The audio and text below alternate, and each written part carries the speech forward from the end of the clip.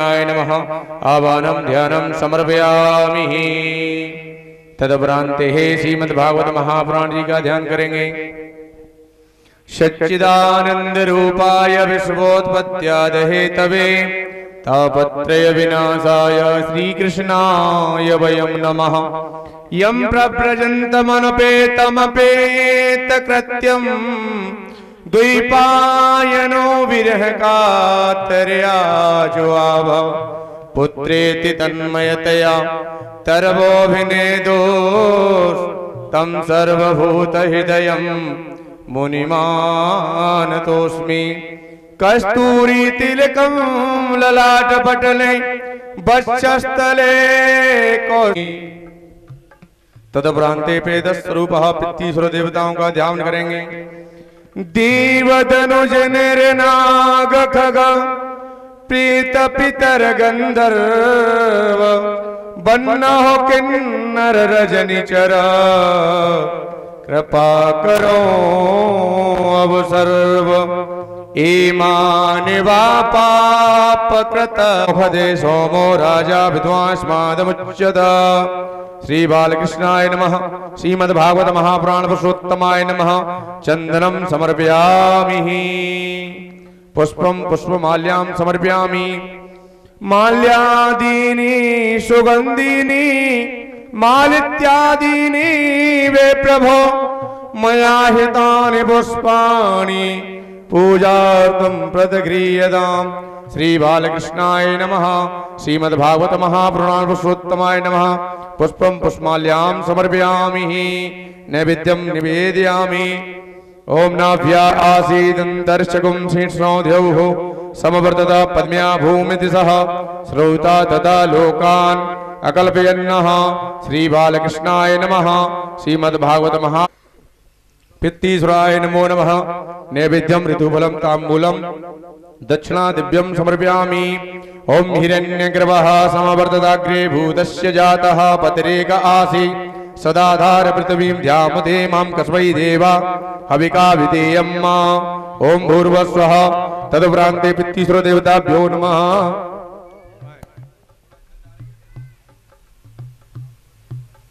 ओम देवताभ्य प्रथमश्च महायोगिमयेव च। नमः स्वाहाय सुधाय नित्यमेव नमो नमः। ओम भूर्वता पृथ्वीश्वराय नमो नमः। सर्वोपचारादे गन्धश्च पुष्पं समर्पयामि। पुष्पं पुष्पमाल्यां समर्पयामि। पुष्पमाल्यान्ते नैवेद्यं निवेदयामि। ओम नाभ्यायासीदन्तर्शकुं शीर्ष्णो द्यौः समवर्तत। पद्म्या भूमिति सह श्रोता तथा लोकान् अकल्पयन्नः। बोलिए सदगुरुदेव भगवान की जय। परम आदरणीय, श्रद्धेय, परम पूजनीय श्री गुरुदेव महाराज मंचासीन हो चुके हैं। जो भी धर्म प्रेमी बंधु अभी यहाँ आने से वंचित हैं अति शीघ्र श्रीमद भागवत पांडाल में आए और द्वितीय दिवस की आरती श्रीमद भागवत महापुराण जी की कुछ ही क्षणों में प्रारंभ होने जा रही है।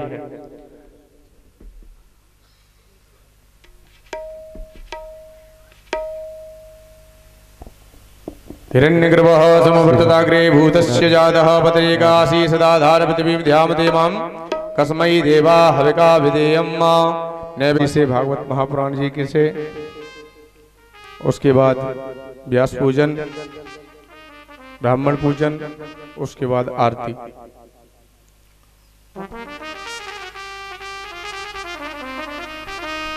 हाथ जोड़कर प्रार्थना करेंगे माता जी।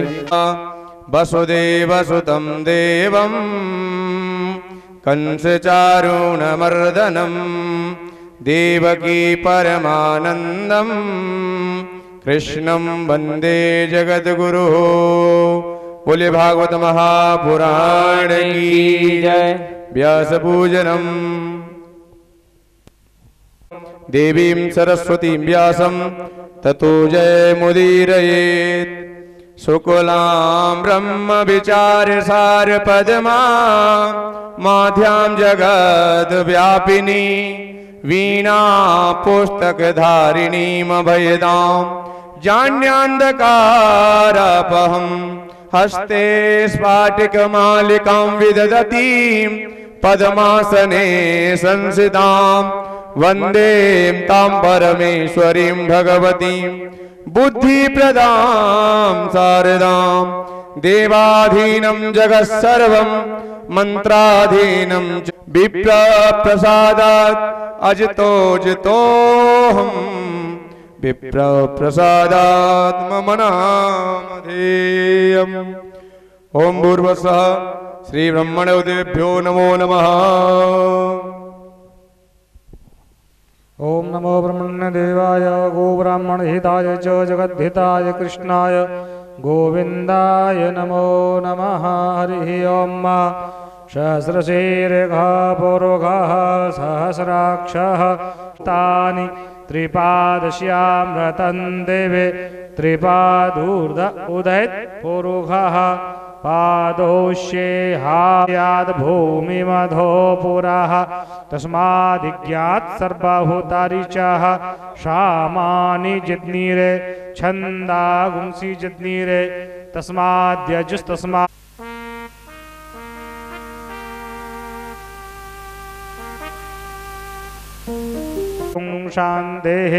हृधवी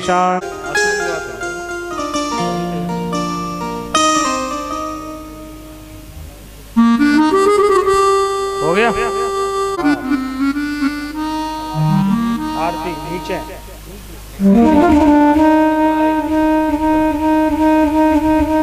चलो आप आप लोग नीचे पहुंचो आरती के लिए। और महाराज जी को माल्यार्पण कर आशीर्वाद पाएँ।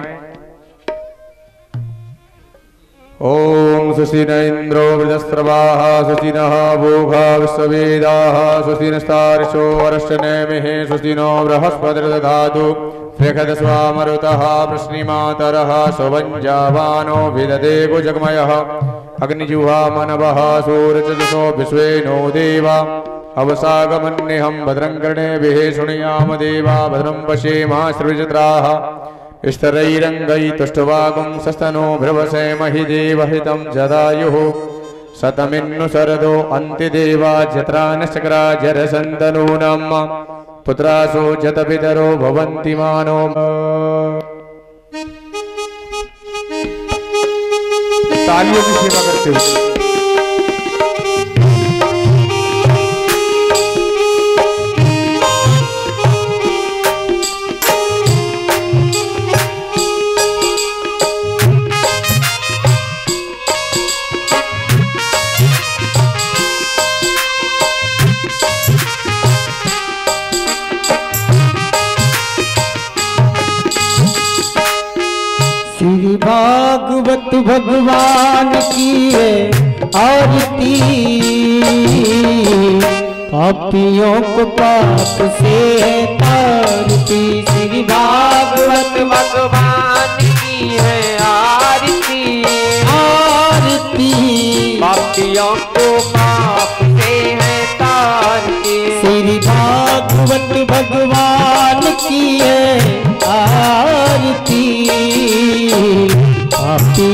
पाप से है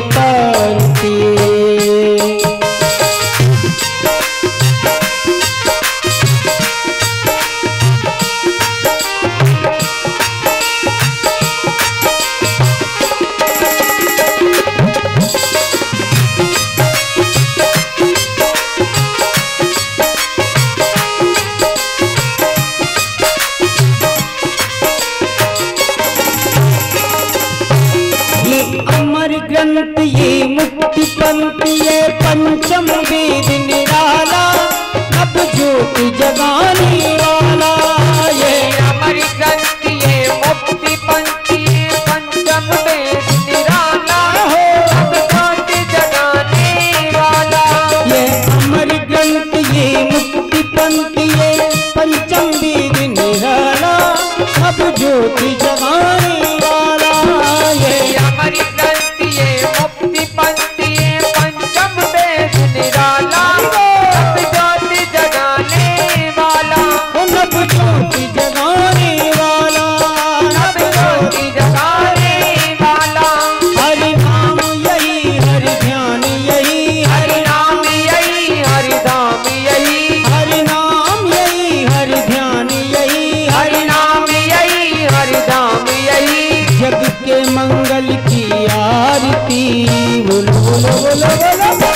पापियों को बाप से है तारती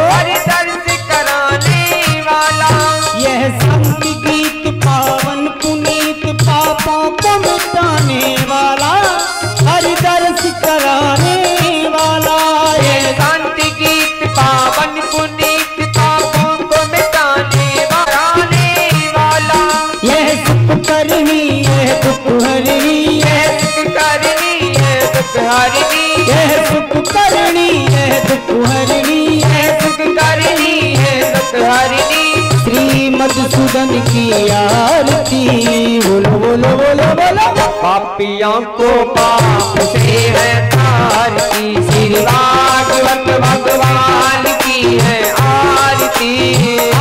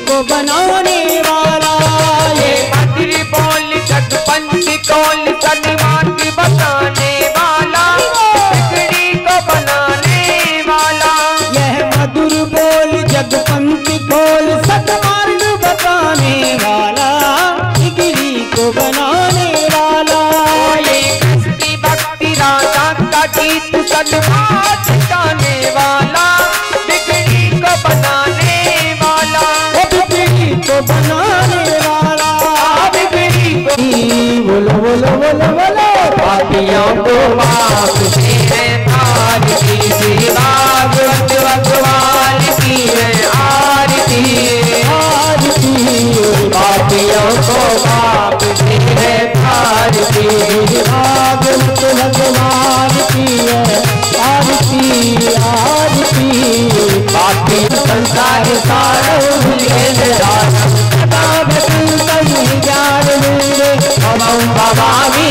शतम नमामि तुम्हें व माता सत्ता तुम्हेरा तुम्हें बंधु सत्ता तुम्हें तुम्हें बनी जान तुम्हेरा तुम्हें बगर बमले भागवत भगवान की है आरती आरती पापियों को बाप से है प्यार की माँ बापियों को बाप से है प्यार की माँ बापियों को बाप से है।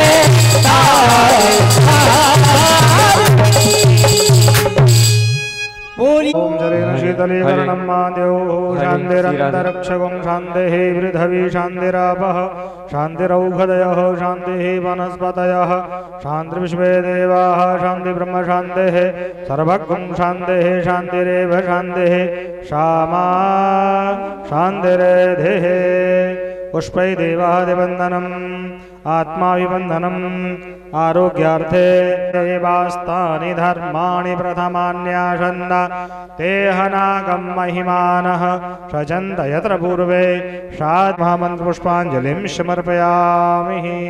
चलो भागवत महापुराण के श्री व्यास जी महाराज की। जय हो। श्री सुखदेव जी महाराज की। जय हो। जय जय श्री सभी लोग अपनी अपनी। नटवर वप कर्ण जो कर्ण कारकम बेभद्रवास कनक कपिसंबे जंती चमालया मालया रन्ध्रायण वेणुर्दर्शुदियन् पूर्यन् गोपुवृन्दे बृन्दारण्यं सपद्रमणं प्राविशता गीतकीर्ति च। श्रीमद्भागवतं पुराणतिलकं यद् विश्वानधनम्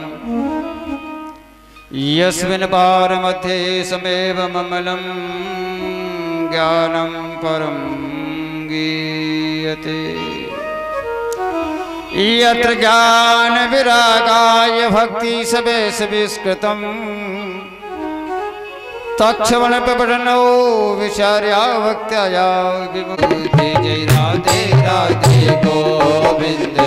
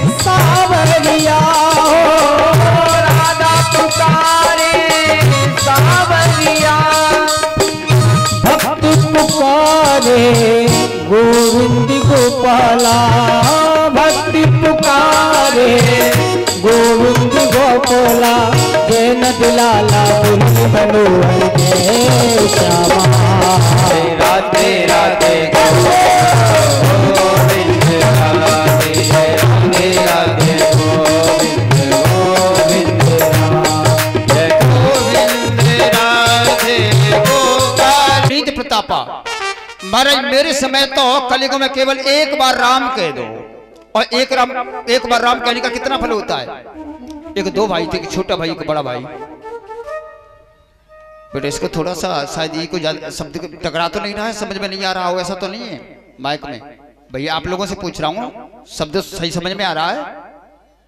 ठीक अच्छा थोड़ा सा बजंदा ले हाँ देखते रहना बोलिए श्री वृंदावन बिहारी लाल की जय।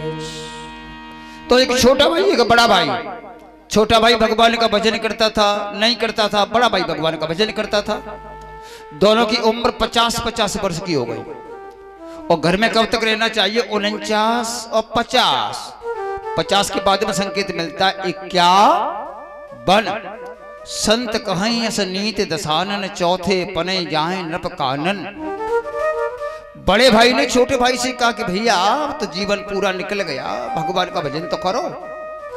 छोटे भाई ने कहा कि दादाजी, तुम्हारे लिए विमान आएगा, तुम बैठ करके जाएँगे। बस तुम्हारे विमान के पैर से लटक करके मैं भी तुम्हारे साथ चला जाऊँगा। बुरा लगा। अपने गुरुजी से कहा कि गुरुजी, मेरा भाई कभी आपका नाम नहीं लेता, भगवान का भजन नहीं करता। गुरुजी आए, सो ज़बरदस्ती एक बार राम शब्द निकलवा दिया। दोनों भाई मर करके सही मणिपुरी पहुँचे बड़ा तो गौलोक को चला गया लेकिन छोटे से यमराज जी ने वही खाता खुलवाया। चित्रगुप्त जी ने कहा कि महाराज पूरे जीवन में पाप ही पाप किया है। केवल एक बार इसलिए राम शब्द कहा है। यमराज बोले भाई के पहले किसको लेना चाहते हो पाप को या पुण्य को? वो बड़ा चतुर था, उसने कहा कि जीवन भर पाप में तो रहना ही है, लड़कों में तो रहना ही है तो पहले भोग भोग लो। उसने कहा कि मुझे तो केवल ये बता दो, मेरा पुण्य कितना है? तो तुमने एक बार राम नाम कहा है तो मेरा एक बार राम नाम लेने का कितना पुण्य बनेगा? दस किलो, पाँच किलो, एक किलो, कितना वज़न रहेगा? यमराज ने कहा कि इसको तो मैं नहीं बता सकता। तो कौन बताएगा? तुमसे यहाँ से आगे कौन सी नगरी है कि मर ये है यमपुरी। और यमपुरी से थोड़ा पढ़ोगे तो आपको मिलेगी अमरावतीपुरी जहाँ के राजा इंद्र हैं। तो चलो उनसे निर्णय करवाएँगे लेकिन यम के दूतों को वहाँ जाने का अधिकार नहीं था केवल अकेला यमराज जा सकता था। छोटा भाई बोला कि मेरा अंगुष्ठ प्रमाण का शरीर चल सकता नहीं तुम्हारे दूतों को जाने का अधिकार नहीं मुझे लेकर के कौन चलेगा? यमराज ने का बताओ कि तुम अपने कंधे पर बैठा लो, मुझे अमरावती ले चलो। यमराज ने सोचा कि ये तो मजबूरी है, ले चलना ही पड़ेगा, सो कंधे पे बिठाला और इंद्र के पास पे पहुँचे। इंद्र से कहा कि बताओ, एक बार राम राम लेने का फल कितना होता है, पुण्य कितना मिलता है? इंद्र बोला कि महाराज, मैं तो दैत्यों से युद्ध करने में बना रहा। मैं नहीं कह सकता कि एक बार राम नाम लेने का फल कितना होता है। तो तुमसे आगे कि बस महाराज, यहाँ ब्रह्मपुरी? तो क्या अपनी पलकी उठाओ, आगे तुम लगो, पीछे यमराज लगेगा, मुझे बिठाल करके ले चलो। इंद्र ने पलकी को उठाया। ब्रह्मा जी से पूछा कि बताओ, एक बार राम नाम लेने का फल कितना? तो महाराज, मैं तो षष्ठी बढ़ाने में लगा रहा अब की मानसी षष्ठी, अब की देहसी षष्ठी, अब की तामसी षष्ठी, मैं तो नहीं बता सकता। तो लग जा पलकी आगे, बस मर शिव लोग। भगवान शंकर जी तो सादर जप है अनंग अराते। ये तो बहुत भगवान का भजन करते हैं। क्यों महाराज बताओ? महाराज, इसकी व्याख्या तो मैं भी नहीं कर सकता, क्योंकि भाव कुभाव अनख आलस हो। मरते समय कहीं पापी के मुखार बिन से राम का निकल जाए तो वो बैकुंठवासी बन जाता है। भजन तो मैं भी नहीं बता सकता कि तुम भी पलकी में लगो। आपसे बढ़ करके कि बस विष्णु लोग चलो विष्णु भगवान के पास। विष्णु भगवान के पास पहुँच करके और चारों देवताओं ने पलकी उतार करके पूछा कि महाराज, ये बता दो, एक बार राम नाम लेने का फल कितना है? विष्णु भगवान ने कहा कि पहले इस जीव को उठा करके मेरे अंक में गोदी में बिठा लो। चारों देवताओं ने उठा करके गोदी में बिठाला और पूछा कि महाराज, अब तो बता दो। विष्णु भगवान बोले कि अब भी तुम्हारे नेत्र बंद हैं, कि तुम जैसे चार देवता जिसकी पलकी में लग गए और साक्षात मेरी गोद में आकर के बैठ गया। तो मेरी गोद से बढ़ करके कोई पद है क्या? तो कलियुग में एक बार राम नाम लेने का इतना बड़ा फल था, परीक्षित ने कहा तो कलियुग ऐसे कलियुग तुझे मारूँगा नहीं। लेकिन तुम्हें कार्य एक करना पड़ेगा। मैं कहूँगा, वहीं आपको रहना पड़ेगा। आज से मैं आपको चार स्थान देता हूँ। इन्होंने चार स्थान दिए। अभ्यर्थी तस्मदा तस्मय स्थनानि कलयो ददौ धूतं पानं श्रियसूना। यत्र धर्म चतुर्विध अभ्यर्थी तस्मदा तस्तई स्थानान कलयो ददौ चार स्थान दिए धूतम, कलयुग धूत कहते हैं जुआ खेलने को। जहाँ जुआ खेला जाता हो, वहाँ आपका वास रहेगा। धूतम, पानम। दूसरा स्थान है जहाँ मदरा का पान किया जाता हो, वहाँ कलयुग तुम बास करोगे। ठीक है महाराज? तो कलयुग का वास रहता है मदरा। एक बार कथा हो रही थी, सर्दी के समय में कथा थी। अब तो थोड़ी सी हल्की सी सर्दी हो गई है, लेकिन पंद्रह दिन पहले बहुत कड़ाके की सर्दी थी। हमारे भैया, भोलू भैया ने दिन फ़ोन किया कि गुरुजी, सर्दी ऐसी रही और पानी ऐसा रात हो गई क्या भागवत? बल्कि आप चिंता न करो, ठाकुर जी कृपा होगी, सो अच्छी होगी। तो अब तो गुलाबी सर्दी है। तो ज़्यादा सर्दी में भागवत हो रही थी सो दो भैया आकर के बैठ गए। कथा अच्छी चल रही थी तो एक बोला कि भैया, कथा तो ठीक है, पर क्या बताए, सर्दी लग रही है। दूसरा बोला कि सर्दी तो तेरी चली जाएगी, मैं उपाय बता दूँगा। कैसे? कि चलो चलते हैं, एक एक पौवा होता है या होता है, एक एक पी लो सर्दी बिल्कुल चली जाएगी। वो दूसरा बोला, पगले कहीं दारू से सर्दी जाती है। वो बोला, कैसा मूर्ख है, मेरी तो सौ बीघा चली गई। मेरी सौ बीघा ज़मीन जा सकती है तेरी सर्दी भी नहीं जा सकती है क्या? और मेरे प्यारे किसी को कहीं अपनी लक्ष्मी से दुश्मनी हो और अपने बच्चों से प्रेम नहीं हो इनको बर्बाद करना चाहो तो केवल एक उपाय है। घर में मदरा पाना करना दारू पीना सीख लो बस सब कुछ अच्छा ही हो जाएगा। आजकल से कह रहे हैं परीक्षित दूतम पानम श्रेयसोला जहाँ हिंसा की जाती हो जीव हत्या होती हो वहाँ कलयुग तुम्हारा वास। ठीक है महाराज? और जहाँ वैश्यावृत्ति की जाती, वहाँ तुम्हारा वास। ठीक है महाराज, चार स्थान तो मुझे मिल गए। लेकिन ऐसा एक भी स्थान नहीं है कि जहाँ पर मेरी पूर्ति हो सके। पुनः याच मानाय जात रूप मधात प्रभो, और तथोजतम मदम कामम रयो बैरम च पंचमम। चारों स्थान में से एक भी स्थान ऐसा नहीं है कि जहाँ मैं रह सकूँ। तो पुनः आश मानाय इच्छा की कि एक मेरे कहने के अनुसार दे सकती हो? हम मांगिए। तो हिरण्य बासान से सोने में मेरा बास दे दीजिए। परीक्षित ने सोचा कि सोना कोई खाने की वस्तु नहीं कोई पीने की वस्तु नहीं है पहनने की वस्तु है। बैठा रहेगा क्या करेगा? जाओ तुम्हारा सुवर्ण में बास। जब कलयुग को सुवर्ण में बास मिल गया तो बताओ इसमें सुवर्ण में कलयुग का बास हो इसी भागवत की द्वादश स्कंद में विभूति योग का वर्णन हुए भगवान कहते हैं धातु राम असनी कांचनम। धातुओं में धातु स्वर्ण में मेरा वास वृक्ष में पीपल में मेरा वास ऋषियों में नारद में मेरा वास। तो ये भगवान कहते हैं कि सुवर्ण में तो मैं रहता हूँ। और आज परीक्षित ने कलयुग को दे दिया तो इसमें किसका मान माने? तो हमारे संतों ने बड़ा सुंदर रथ निकाला। बीस नाखूनों से आप कमाई करके स्वर्ण खरीदो तो भगवान का वास। और भैया कोई नाराज़ मत हो जाना, कोई दूध या भैया बैठा हो तो दूध में पानी मिला करके कहीं तुमने स्वर्ण बनवा एक बार क्या हुआ, कोई दूध या भैया बीस लीटर पानी में पाँच लीटर, बीस लीटर दूध में पाँच लीटर पानी मिला दिया करें। अब वो तो चतुर थे पर उनकी पत्नी और ज़्यादा चतुर। वो उसमें से भी छुप करके दो लीटर निकाले और दो लीटर पानी मिला कुछ धन इकट्ठा हो गया। और ससुराल में धन निकालती है तो पता चलता ये कहाँ से आया। सो भैया के बच्चे की शादी में गई सो बढ़िया सी भैया पे धन दे करके नथनी बनवाई। और नथनी को पहन करके बुलावा देने के उद्देश्य से इस घर में, उस घर में उस नथनी को दिखाती रहे। नदी के किनारे गाँव था सो एक बंदर आया, ऐसा उसमें नथनी में झपट्टा दिया, सो नथ को ले गया और नाक भी फट गई।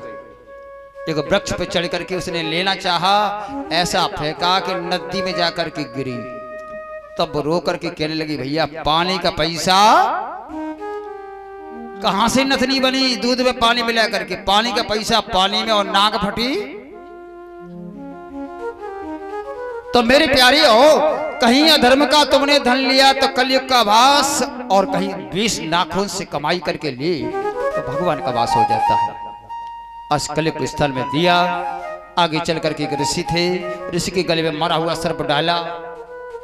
क्योंकि कहीं ऋषि को ये समझे कि मेरी सेवा करनी पड़ेगी, परीक्षा लेना चाहा परीक्षित ने सोचा कि ऋषि तो वास्तव की तपस्या में है, लेकिन इनका एक बालक देख रहा था। तुरंत ही अपने पिता के गले में मरा हुआ सर्पल देख करके श्राप दे दिया। इत लंगित मर्यादम तक्षके सप्तमे हनी। मेरे पिताजी के गले में जो मरा हुआ सर्प डाला है, दक्षत इसमें कुलांगारम, योदितो में तद्यम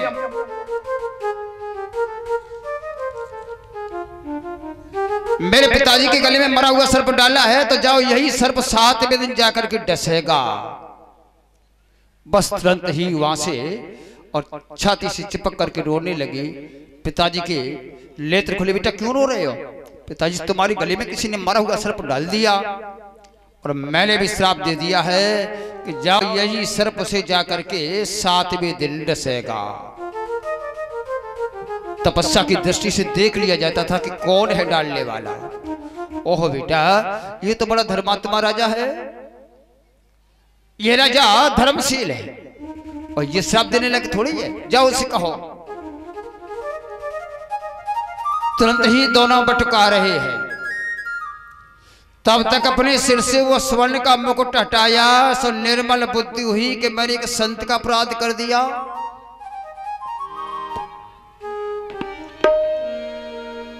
क्योंकि संत का अपराध कोई करता है? बोले, संत सताए तीन नैन हो को वंश। रोबत ही तीनों गए, रावण कौरव कंस। संतों का कभी भी अपमान नहीं करना चाहिए। एक बार वृंदावन की परिक्रमा में मुक्ति ने भगवान से कहा कि महाराज, मैं संसार को मुक्त करती हूँ। वृंदा वृंदावन की गेल में मुक्त पड़ी घबराई। मुक्ति कहे गोविंद से मेरी मुक्ति का कौन उपाय? मेरी मुक्ति का क्या उपाय भगवान बोले, पड़ी रहो या गेल में, साधु संत चले जाए।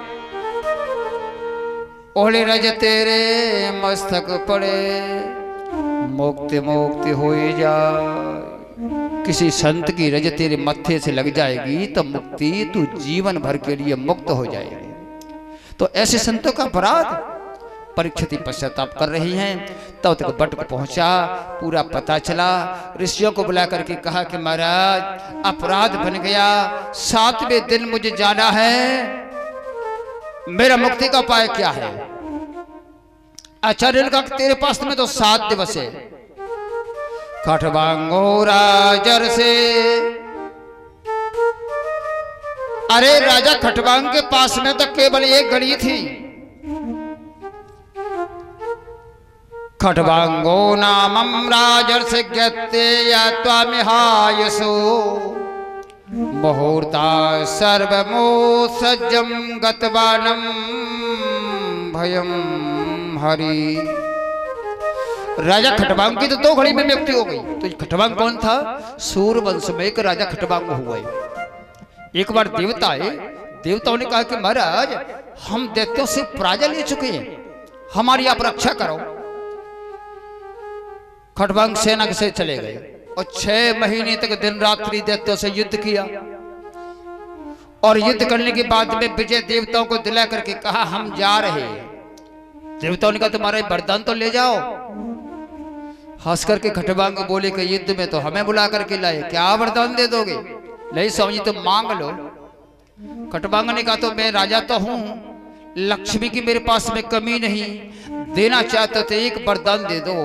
मुझे ये बता दो, मेरी मृत्यु कितनी शेष और है? देवताओं ने कहा कि महाराज, इसको हम बता तो नहीं सकते।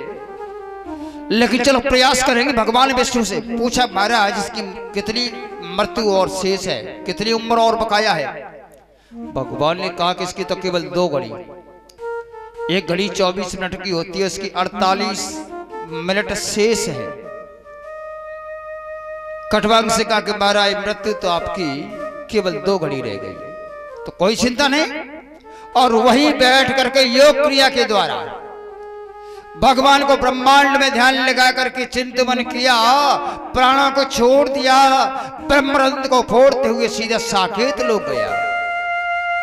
बताओ दोगड़ी में मुक्ति मिल सकती है तो राजन, तुम्हारे पास में तो सात दिवस है। लेकिन मुक्ति मिलेगी कैसे? और इस संतन की संग लाग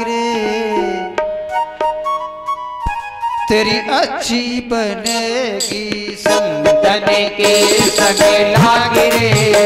तेरी अच्छी बनेगी। अच्छी बनेगी तेरी बिगड़ी बनेगी।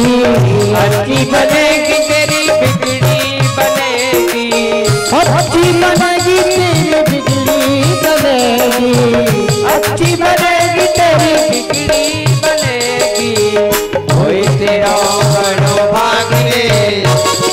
अच्छी बनेगी कोई तेरा बड़ा भाग तेरी अच्छी बनेगी।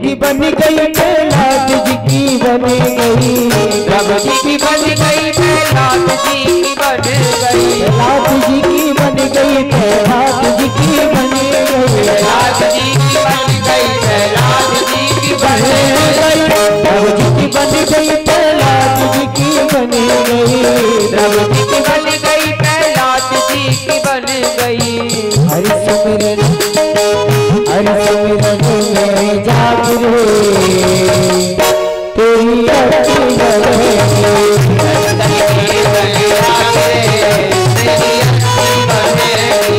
अच्छी बनेगी तेरी बिजली बनेगी।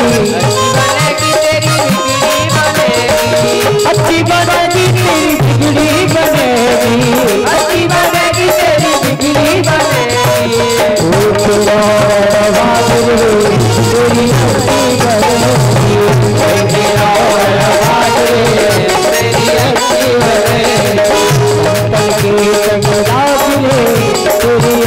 अच्छी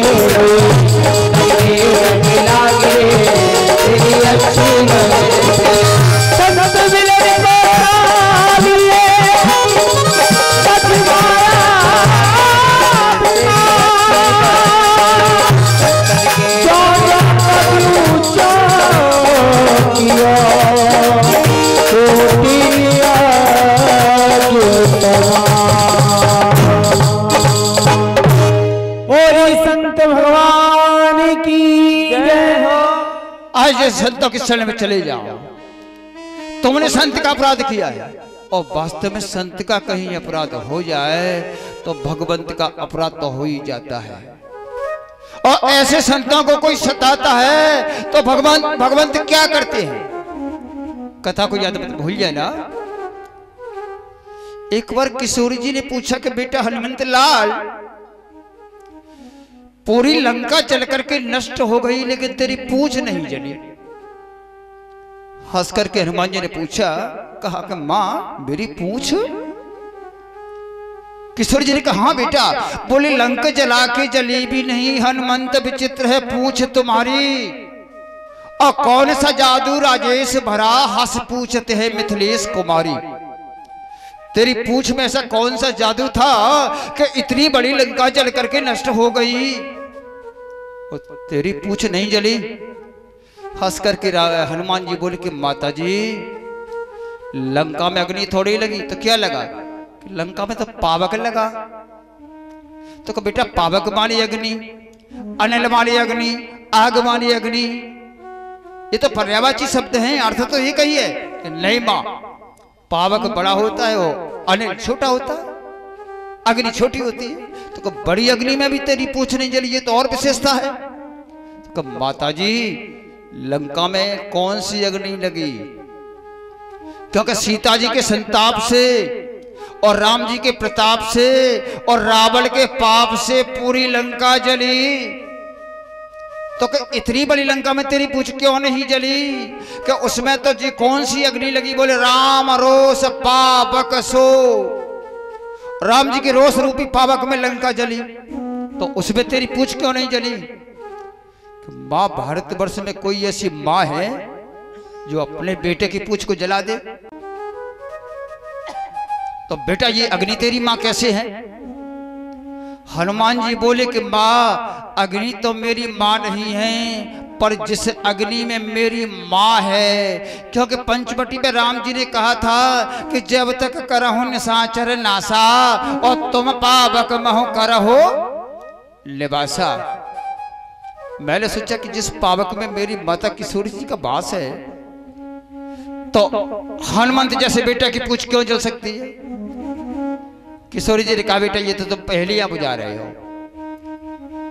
ठीक ठीक से बताओ, तुम्हारी पूछ क्यों नहीं जली? कहा माता जी तुम्हें पता है कि संसार में पूछ किसकी जलती है? हनुमान जी कहने लगे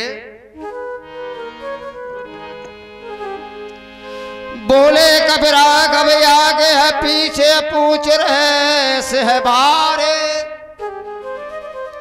लेकिन बानर को भल पूछत कौन? श्री राम के पीछे है, पूछ हमारी। ये पूछ की बड़ी विशेषता है, भैया, थोड़ा सा इसको देखना। पूछ की बड़ी विशेषता है, पूछ घट भी जाती है, पूछ बढ़ भी जाती है। आज में समाज में तुम बोले कपि राघव आगे है और पीछे पूछ अपनी पूछ कहीं आगे कर दी। समाज में एक हज़ार बन करके चले। एक हज़ार कैसे होता है कि एक होता है एक का अंक। और बाकी के चार ज़ीरो होती है शून्य होती है। और समाज में कहेगा कि इसमें केवल मैं हूँ एक हीरो। और बाकी के ये सब ज़ीरो।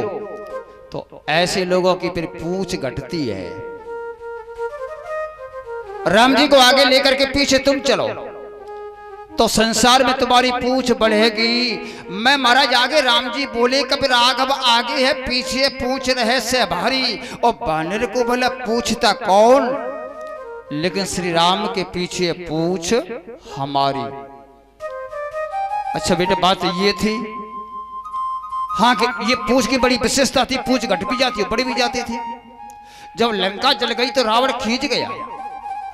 रावण ने अपनी चतुरंगनी सेना से कहा कि जाओ उस बंदर को, ज़िंदा, मुर्दा, पकड़ करके मेरे पास में लाओ। और चतुरंगनी सेना गई। हनुमान जी ने सोचा कि चतुरंगनी सेना से एक आदमी लड़ तो सकता नहीं। हनुमान जी चुपचाप बैठ गए। और चतुरंगनी सेना ने चारों तरफ़ से हनुमान जी को घेर लिया। हनुमान जी बिल्कुल नहीं बोले। लेकिन हनुमान जी ने पूछ बढ़ाई और पूछ बढ़ा करके चतुरंगनी सेना को चारों तरफ़ से लपेटा। और लपेट करके पूछ को घुमाया, सो हाथी से हाथी लड़े, रथल से रथ चिंगारे देखो लखल लड़न हनुमान की। हाथी से तो हाथी बढ़ के मर गई और रथन से रथ टूट गए पूरी सेना साफ़ संवाददाता पहुँचा के रावण के पास में कि महाराज चतुरंगनी सेना बिल्कुल नष्ट हो गई। रावण बोला, क्या मूर्ख हो? चतुरंगनी सेना मर कैसे सकती है? कि महाराज उस बंदर के सामने ठहरना बड़ा मुश्किल का काम है। तो क्या मूर्ख थे? चोर हमला करते, पीछे से लड़ते? संवाददाता बोला कि महाराज, आगे वाले तो थोड़ा बहुत लड़े भी, और पूछे, पीछे वाले तो उतना भी नहीं लड़े। कि पीछे क्या था कि वही पूछ? अरे चुप रहो, मैं तुम्हारा पूछ का नाम नहीं सुनना चाहता रावण ऐसा खींचा से उसने अमर सेना को पहुँचा दिया। क्योंकि तो लंका में कुछ अमर सेना भी थी। अमर सेना गई, सो विभीषण जी ने राम जी से कहा कि महाराज, अमर सेना आ रही है। और अमर सेना से युद्ध करते रहो, मरना तो उनको है नहीं। हनुमान जी बोले कि युद्ध तो करेंगे, कि हमारी यहाँ कोई अमर ही नहीं है, कि मैं हूँ अमर। माता किशोरी जी ने वरदान दिया है, अजर अमर गुण निधि सुत हो। तो क्या तुम करोगे क्या? वो तो अमर है कि तुम तो देखो। हनुमान जी चले तो हाथ में गदा भी नहीं ली। लक्ष्मण जी बोले, देखो भैया, गदा भी लेकर के नहीं जा रहा, क्या करेगा? हनुमान जी ने कहा, तुम तो देखो। हनुमान जी गए, सो बीच युद्ध स्थल में बैठ गए। और चतरंगनी सेना आई, सो हनुमान जी ने सोचा कि लड़ने से तो काम चलेगा नहीं, सो अपनी बोई पूछ फिर बढ़ाई, लांगी, लूम, लपेट। और ल हनुमान जी लड़े, और ल हनुमान जी मुड़े, अब हनुमान जी आकाश में उड़े। आकाश में उड़ करके गुरुत्वाकर्षण शक्ति का भेदन करके ऐसी सेना को फेंका कि आकाश मंडल में चली गई। उतर करके नीचे नहीं आई हनुमान जी उतर करके नीचे बोले कि राम जी ने तो संकल्प लिया है, निश्चर हीन करो मही। मही माने पृथ्वी। पृथ्वी को निशाचरों से हीन करने का राम जी ने संकल्प लिया है। और तुम आकाश मंडल में बनी रहो, हमें कोई चिंता नहीं। है संवाददाता पहुँचा रावण के पास में कि महाराज, पूरी सेना बिल्कुल नष्ट स्वाप। खींच करके रावण बोला, झूठ बोलते हो? अमर सेना मर कैसे सकती है? संवाददाता बोला कि महाराज, पढ़ने, मरने का तो पता नहीं। जाते हुए देखा है, लेकिन लौटते नहीं देखा। कि वो बंदर, कि बंदर वही? खींच करके रावण आया कि उस बंदर को मैं ही देखूँगा। सो हनुमान जी बैठे थे तो न तो आगे आया, न इधर उधर आया, पीछे से आकर के पूछ पकड़ ली। इसके पूछ को तोड़ करके रहूँगा। बड़ी ताकत में। अब वो सोच रहे कि जब बंदर मुड़ेगा तो पूछ टूटेगी। और पूछ से इनको पैर ज़्यादा था। बड़े ज़ोर से ताकत लगा करके, पैर ज़मीन पे लगा करके, और शंकर जी से कह रहे हैं, ए भगवान शंकर या बंदर की पूछ जल्दी टूट जाए, थोड़ी सहायता तुम कर दो। रावण सोच रहा है कि बंदर मुड़ेगा तो पूछ टूटेगी। लेकिन न तो हनुमान जी मुड़े और न हनुमान जी लड़े। पहले की तरह हनुमान जी आकाश में उड़े। रावण ने और ज़ोर से पकड़ लिया कि ये बंदर की पूछ टूट जाएगी, ये उड़ जाएगी, पूछ रह जाएगी। मेरा तो बैर पूछ सही है, लेकिन पूछ तो नहीं टूटी और पूछ के साथ में रावण भी आकाश में उड़ने लगा। ऊपर आप पहुँचा अब रावण शंकर जी से कहने लगा कि हे भगवान शंकर या हनुमान जी की पूछ टूट नहीं जावे या हमारे हाथ से छूट नहीं जावे ये हमारा क्या होगा धरती के ना आकाश के हम कहीं के नहीं रहे। पहले कह रहा था कि टूट जाए अब कह रहा है कि भगवान टूटे नहीं। पहले छोड़ नहीं रहा था वो अब बेचारा छोड़ नहीं सकता है क्योंकि आकाश से छोड़ दी तो काम हो गया। हनुमान जी ने सोचा कि कहीं इसको भी मैं गुरुत्वाकर्षण शक्ति का भेदन करके पहुंचाता हूँ। तो राम जी का संकल्प अधूरा रह जाएगा, वो किसको मारेंगे? हनुमान जी ने सोचा कि मेरे ऊपर कलंक आ जाएगा, सो उतार करके रावण को नीचे रख दिया। रावण से कहा कि तुम लौट जाओ, हमारा तुम्हारा तो युद्ध तो हो गया। का युद्ध का हुआ है? तो कब मैं गदा युद्ध तो कर नहीं सकता, क्योंकि राम जी के संकल्प कैसे पूरा होगा? तो हल्का युद्ध कर लो हल्का युद्ध कौन सा है? कि मुष्ट का युद्ध कर लो। हनुमान जी ने रावण से कहा कि पहले तुम दे लो बाद में देने लायक बचे कि नहीं बचे? हनुमान जी ने पीठ की रावण ने ऐसा मुष्टिका दिया सो मुष्ट प्रहार वज्र सम लागा। ऐसा मुष्टिका लगा सो हनुमान जी सहन कर गए। अब हनुमान जी ने ऊपर अपना घूसा उठाया मुष्टिका उठाया। हो जाओ रावण। रावण ने पीठ की सो ब्रह्मा जी ने हाथ पकड़ लिया, क्या करते हो? तुम्हारे मुष्टिका से रावण बचेगा नहीं, और राम जी का संकल्प कैसे पूरा होगा? तो क्या क्या करूँ मुझे प्रण को पूरा करने के लिए देना तो पड़ेगा? तो क्या दो हिस्से होते, एक तो होता है मुष्टिका देहाती भाषा में कहते एक तो होता घूसा और एक हल्की मुठका घुसिया। बड़ा मत दो, छोटा सा दे लो, जिससे तुम्हारा प्रण पूरा हो जाएगा और ये मरेगा नहीं। तो सच कह रहे हो कि बिल्कुल सच? तो प्रण को पूरा करने के लिए देना हो तो पड़ेगा कि दे दो। रावण ने क्या किया कि मुष्ट प्रहार वज्र समझ लागा और हनुमान जी क्या कर रहे हैं? मुठका एक महाकप हनी और रुद्र बमत धरनी ढन। रक्त की धार उधर से निकल करके बाहर आई। हनुमान जी घबराए कि हे राम जी, रावण मर नहीं जावे। ये हमारे मत्थे कलंक लग नहीं जावे। आज इसकी रक्षा तुम करना। रावण होश में आया कि हो गया युद्ध। महाराज, मैं आपसे नहीं लड़ सकता हूँ। और बताओ, ऐसे हनुमंत जैसे संत को कोई परेशान करे तो भगवान तो उसको परेशान नहीं करेंगे। क्योंकि गोस्वामी तुलसीदास जी कहते हैं, बिनु हरि कृपा मिले नहीं संता। यदि किसी संत का दर्शन हो जाए तो भगवान की विशेष कृपा। और एक जगह लिखा हुआ है कि, पुण्य पुंज बिल बिल हिन संता। इसका क्या अर्थ है? कि तुम्हारे घर में किसी के संत का आगमन हो गया तो तुम्हारे तुम्हारे पूर्वजों के अनेक पुण्य एकत्रित होते हैं तब घर में एक संत का पदार्पण होता है। बोले श्री संत भगवान की जय हो। और ऐसे संतों का तुम तिरस्कार करोगे तो तुम्हें क्या नरक में नहीं जाना पड़ेगा? परीक्षित ने कहा तुम्हारा मेरा उद्धार का बस संतों की शरण में चले जाओ। सुखदेव भगवान को आमंत्रित किया, उच्च आसन पे बिठाला और बिठा करके कहा, महाराज, मेरी व्यक्ति उपाय का बस राजन, आप मुक्ति का उपाय यही है, आप थोड़ा सा सावधान होकर के आप कथा को श्रवण करिए, मुक्ति मिल जाएगी। जितासन हो जितसंगो जितेंद्रिया कल मैंने आपको बता दिया है। एक आसन पर बैठ करके कथा सुनिए, कथा सुन रहे हैं, तब कहा कि, महाराज, ये बताओ, ये संसार की उत्पत्ति कैसे हुई? सुखदेव जी हंस करके कहने लगे राजन यह संसार की उत्पत्ति हुई सबसे पहले ये जल ही जल है जल में कुछ भी नहीं है। तब ब्रह्मांड की शक्ति एकत्रित हुई। क्योंकि यह शरीर से शक्ति निकल जाए तो ये शरीर किसी मतलब का नहीं है। कहते ना भैया बाकी शक्ति तो चली गई। और शक्ति शरीर से चली जाए तो शरीर किसी मतलब का नहीं।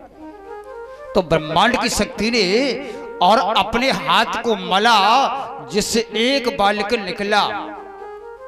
या बालक का नाम विष्णु रख दिया। शक्ति ने कहा कि हमें संसार की उत्पत्ति करनी है, तुम हमारे साथ विवाह संस्कार करिए। तुम मेरी जन्मदात्री माओ माओ, पुत्र का कैसा संबंध? कि नहीं तुम्हें करना पड़ेगा? नहीं, मैं तो नहीं करूँगा। तो मैं तुम्हें मार दूँगी। मरना अच्छा है। तो विष को मार दिया। पुनः हाथ मला एक बेटा पैदा किया जो ब्रह्मा। यही शब्द ब्रह्मा से कहा ब्रह्मा को भी मार दिया। तीसरी बार हाथ मला जिसमें से एक बालक निकला। वो है शिव। कहा तुम मेरे साथ विवाह करो नहीं दो भाइयों की तरह तुम्हें भी मार दूँगी। मैं अवश्य विवाह करूँगा लेकिन मुझे दो वरदान चाहिए।